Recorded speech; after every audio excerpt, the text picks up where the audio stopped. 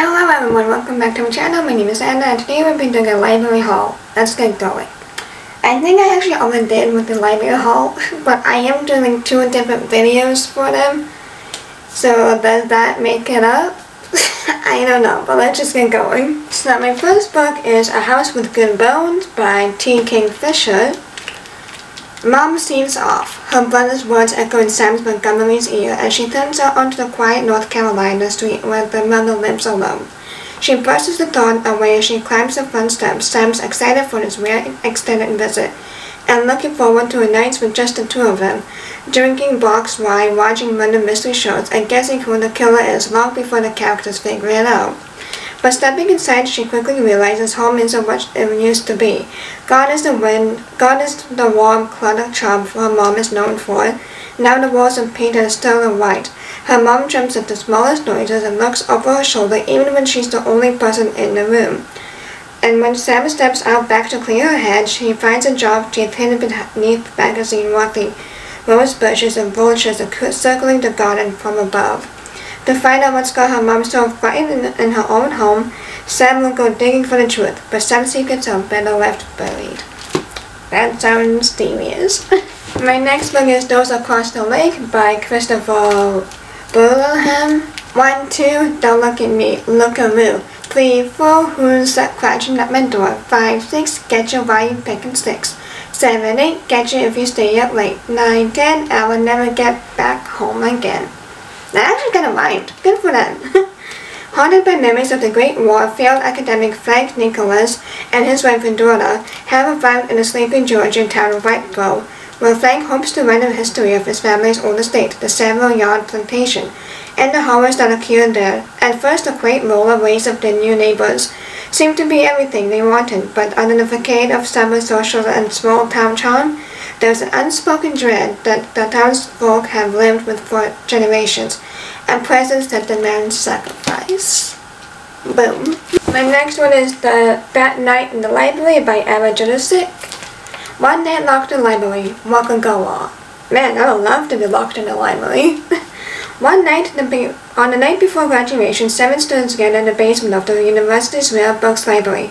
They're not allowed in the library after closing time, but it's the perfect place for the ritual they want to perform, the one borrowed from the Greeks, said to free those who take part in it from the fear of death. And what better time to seek the wisdom of ancient gods than, the, than in the hours before they were scattered in different directions to start their real lives? Have I got news for you, girlie? My next one is The Retreat by Sarah Pearse. They cannot wait to stay here. An idyllic wilderness retreat has opened on an island off the English coast, promising rest and relaxation, but the island itself, known clearly as Reaper's Walk, has a dark past. Once the playground of a serial killer is rumored to be cursed. But they now they can't leave. A young woman is found dead below the yoga pavilion in what seems to be a tragic fall, but Detective Warner soon learns the victim wasn't a guest. She wasn't meant to be on the island at all creepy. I love it. Okay, this big bad boy. I did not know this would be so thick. Oh my god. it is The Book of Accidents by Chuck Wendig. A new mess uh, long ago, Nathan lived in a house in the country with his abusive father and has never told his family what happened there.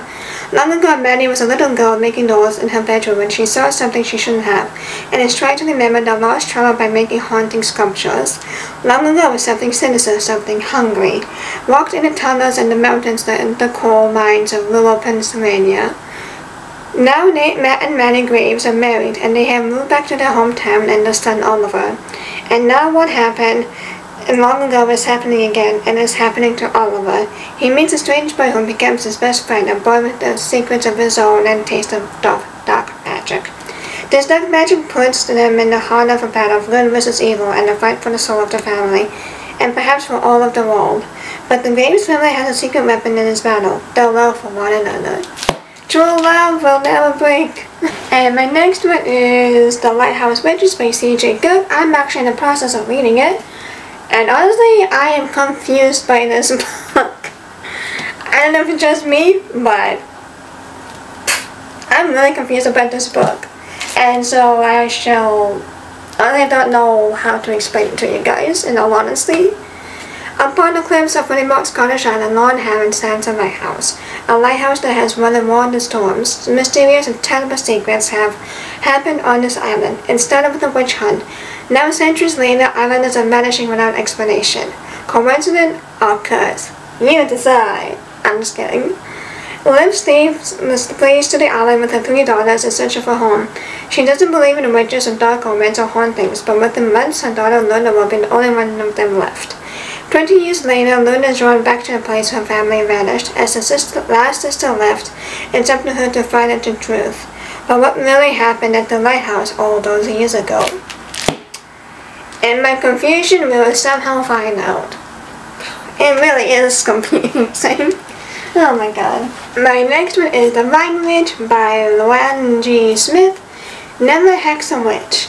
For centuries, the vineyards of Chateau Nanon have depended on the talent of the vine witches whose spell helped create the world-renowned wine of the Chinook Valley. Then the skull of the divining harvest fell into ruin, where sorcerer Elena Bonanno was blindsided by a curse. Now after breaking the spell that confined her to the shallows of a marshland and weakened her magic, and Elena struggling to return her to her former life, and the vineyard she was destined to inherit is now in the possession of a handsome stranger.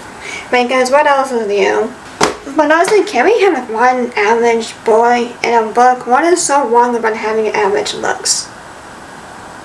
I'm really being honest here. Like, what is so wrong about ha having average looks in books? Or in real life. I don't know anymore. My next book is The Overnight Kiss by Heather Guden Gudenau. Oh, Gudenkopf. That sounds like German, but I could be wrong. A woman receives an unexpected visitor during a deadly snowstorm. She thought she was alone. A true crime writer, Willie Locke, doesn't mind being snowed in at the isolated farmhouse where she retreated to write her new book. A cozy fire, complete silence, it would be perfect. If not for the fact that decades earlier at this very house, two people were murdered in cold blood and the girl disappeared without a trace.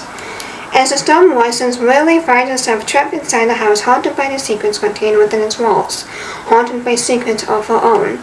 Then she discovers a small child in the snow just outside. After bringing the child inside for warmth and safety, she begins to search for answers.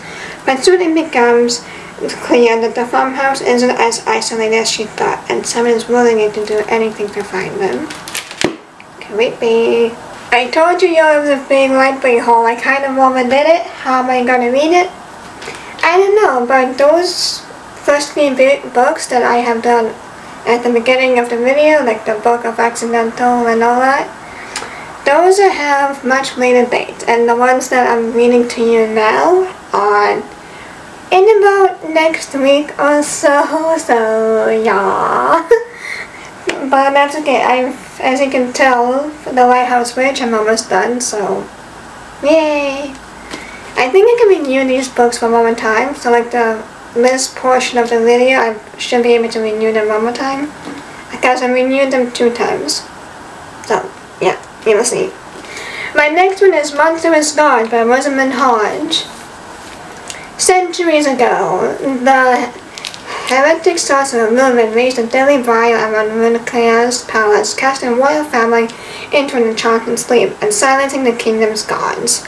Born with a miraculous gift, Leah's destiny is to kill Merlin and make the royals, but she, when she succeeds, she finds her destiny not yet complete. For now, she must marry into the royal family and forge a pact with the god or die. To make matters even worse, Merlin's spirit is haunting her.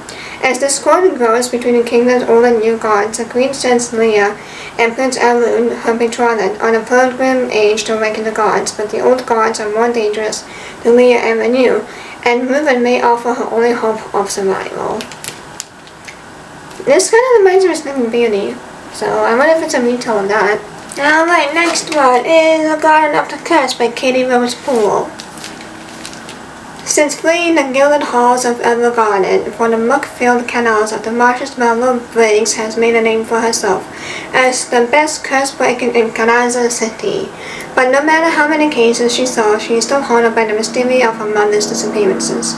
When Adrius Falcrest, Marlow's old crush and Sukon of one of Kaza's most affluent spellmaking families, asked her to help break a life-threatening curse, Marla wants nothing to do with the boy who was spurned her a year ago, but a new lead in her mother's case makes Marla realize that the only way to get the answer she desperately seeks is to help Adrius and return to avant-garde society, even if it means suffering through a fake love affair with him to avoid drawing suspicion from the confining five families. As the investigation draws Marla into a web of deadly secrets and powerful enemies, a shocking truth emerges. Adrius's curse and her mother's disappearance may just be clues to an even larger mystery, one that could unravel the very foundations of Caraza and magic itself. That was too loud, but that sounds absolute, absolutely divine. Podcast, whichever you want to see it. We're almost done, guys. Alright, next up, bad boy, we got Kingdom of Swords by Anna Baron. Born to a family of powerful witch doctors, Alma yearns for magic of her own, but she fails to read the bones, fails to see the future, and fails to call upon the ancestors. With each passing year, her ambitious mother looks upon her with ever-growing disapproval. There is only one thing Alma hasn't tried Charlatans and market trade years of their own lives for a taste of magic without knowing how many each ritual will take. This is a sacrifice Ada will never risk until the kingdom's children begin to vanish. When Ada trades her years for the magic to catch a child snatcher, what she uncovers is even more horrifying than Demon King, whom the ancient gods imprisoned centuries ago is stirring. If he awakens, his hunger for swords will bring Ada's world to its knees unless you pay it in the price to put a magic to save it. Hmm? I like how my main theme is about witches. Those them witches, man. Alright, my next one is Beyond the Black Door by A.M. Strickland. Karma was warned to never open the black door, but she didn't listen. And now she will pay for the price for that she did. I'm kidding. Everybody has a soul. Uh, are you sure? Some are beautiful gardens, others like frightening dungeons. Soul walkers, or like Kamai and her mother, can journey into other people's souls while they sleep. That is creepy. but no matter where Kamai visits, she sees a black door. It follows her into every soul, and her mother has told her to never ever open it. When Kamai touches the door, it is warm and heart beating and like it has a pulse. When she puts her ear to it, she hears her own name whispered from the other side, and when tragedy strikes, Kamai does the unthinkable. She opens the door. Shocking. Well, and that's basically the plot of it. I know, that was acting dramatic. You guys want to know how much books I have? Oh dear lord. These are all my library hauls. Yay! Did I overdid it? Yes, but um, thumbnail? I'm just kidding. I'll just make a thumbnail like this because I can't hold it anymore.